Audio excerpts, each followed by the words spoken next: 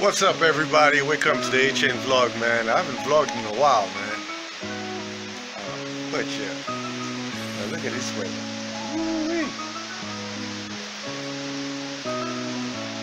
Been raining all morning. But um anyway, I want to talk about the favorite topics of entrepreneur. Money, money, money, money, money. VCs, right? And um there's a lot of interesting things that happen uh, that's happening uh, on the continent right now from Asia that I just want to talk about. And um, why we you know spend a lot of time trying to look for money outside raising capital outside mostly in the States in Europe but hey Asia is booming guys. Asia is booming. So check out the vlog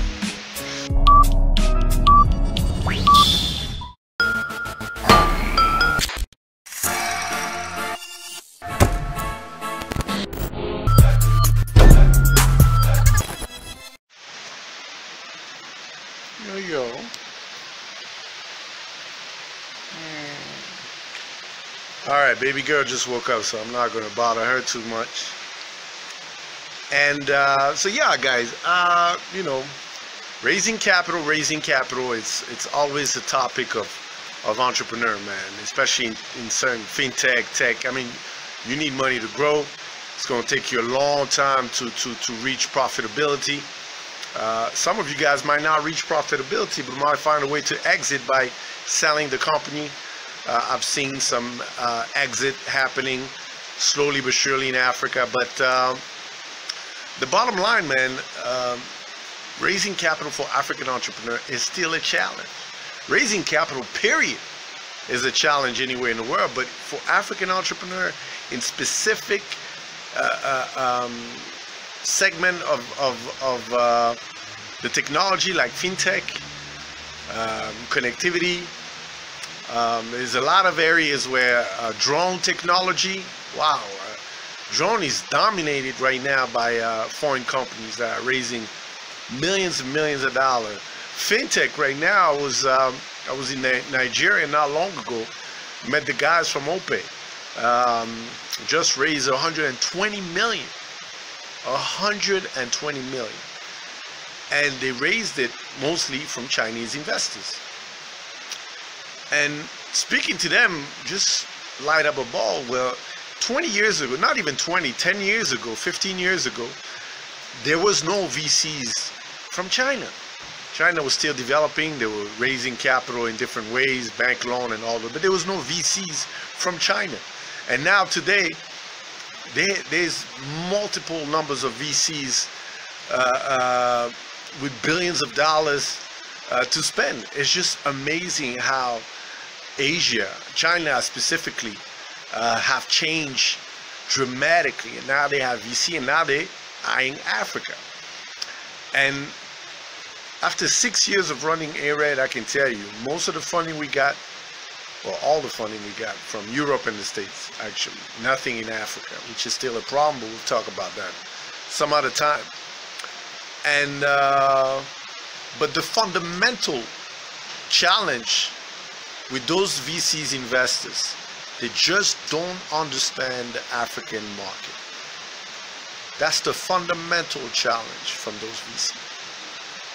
I can't tell you how many times I talked to some, not just VC, but uh, high net worth individuals that are that are investors, uh, and and you tell them what problem you're solving, and they don't see that as a problem. You tell them that there's poor connectivity in certain areas, they just don't understand it. A lot of them never visited Africa. When they visit, they go to the big cities, and it, it's just it's just really really problematic. And when you already start a conversation and you cannot convince that the problem you're solving is not a problem, that's a problem. so, but Asian investors, at least so far the few I've talked to, have a different perspective. They, they, they went through what Africa is going through right now. They went through development not even 20, 30 years ago, right? So they have a better understanding of the problematic. They have a better understanding of, of what needs to be done. Of course, I'm not saying it's easier, but it, it, it's it's much better when you talk to someone that has an understanding of what problem you want to solve, or understand that the problem you're trying to solve is actually a problem and there's an opportunity in there. And they're very aggressive. They're looking for new market. They want to grow exponentially, and you can see it, man. Opay, Opera, uh, um, Opay, which is a branch of Opera, is a perfect example. You should check it out. O-P-A-Y. Uh, I'll put the link somewhere. I mean, I'll put the, the, the, the company name somewhere. But, um, and fundamentally, that's the main difference, right? Because you want to find not just someone that has the money to invest, that understand the problem you, are solving, but that, that, that really want to be aggressive with you because the African market, and nobody can deny that, is the most challenging market right now in compared to any other market because it's a very fragmented market. Uh, the value chain in different aspects of the market is still very highly broken. Uh, there's a lack of infrastructure, etc., etc. I mean, we still we still have a lot of work to do, basically. But when there's higher high risk, there's potential of a higher return, right?